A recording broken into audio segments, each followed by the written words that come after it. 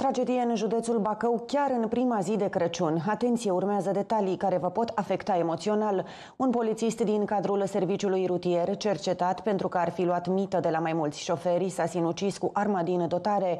Bărbatul se afla în arest la domiciliu de la jumătatea lunii decembrie. Cea care l-a găsit fără suflare a fost soția sa. Femeia a sunat imediat după ajutor, însă echipajul smurd sosit la fața locului nu a mai putut face nimic pentru a-l salva pe agent. După manevrele de resuscitare acesta a fost declarat decedat.